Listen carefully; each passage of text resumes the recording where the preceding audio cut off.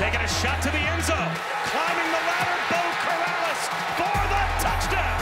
Raiders bring the pressure. Williams has time. Ball batted at the line and then caught. And Jordan bounces into the end zone. They are going to throw the ball, and it is picked off again. And here comes the pressure. The ball's out. Scooped up by Hurricanes defense into the end zone. We haven't started 2 0 since 2014. Uh, we've got a really strong test with Miami this weekend. Uh, their their talent will be more like Clemson than anybody else in this league. They're very very talented.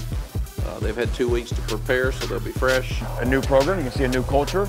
Um, you know, very similar to us, where you see players that, that aren't burdened by the, the, the ghosts of the past, you know, and, and uh, they get play like that. Their, their demeanor and temperament throughout the course of the game, I thought was, was very upbeat and positive, which is, which is all uh, what's to be expected.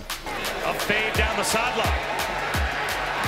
Juggling catches made by Dyami Brown. Uh, I think he's at his best. He's got such a great touch on the deep ball, and um, the catch by Dyami Brown is one of the best I've ever seen. I thought he showed great toughness. Um, and then his poise in the fourth quarter.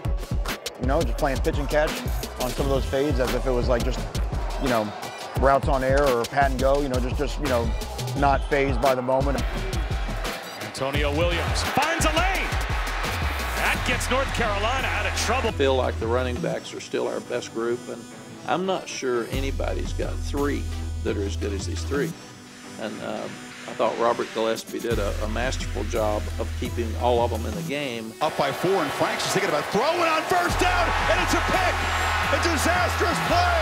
Romeo Finley gets the football back. They're a old-timey Miami defense.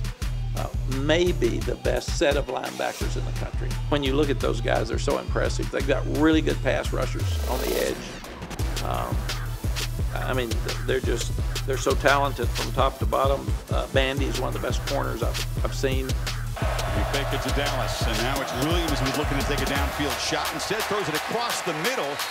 We would have thrown a touchdown pass on the last drive and won 27-24, we would not have come in here and done anything differently. So Jarren, like all the guys, is, is coming in and finding a way to, to better master what it is we're trying to do. Uh, offensively, their, their back's good, their receivers are good, you, you, their tight ends.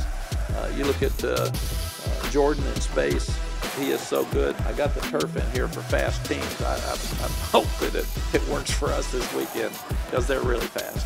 Uh, we'll have our hands full, but looking forward to a, a packed house and a rowdy crowd here a lot of fun on Saturday night.